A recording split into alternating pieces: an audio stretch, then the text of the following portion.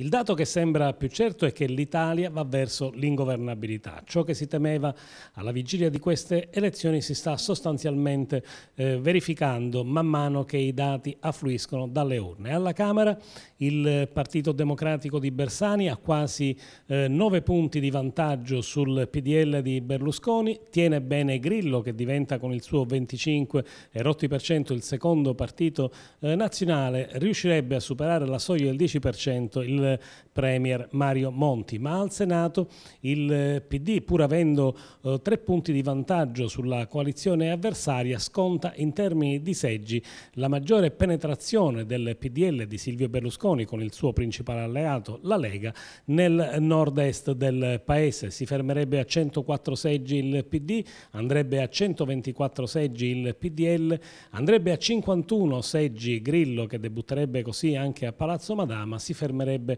a 16 senatori Mario Monti. Così facendo nessuna maggioranza sarebbe garantita al Senato.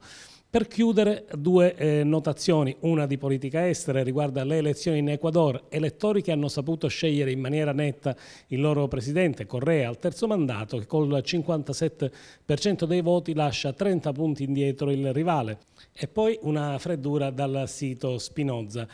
Una freddura che forse fotografa perfettamente la situazione in Italia. I dati sono in continua evoluzione, gli elettori no.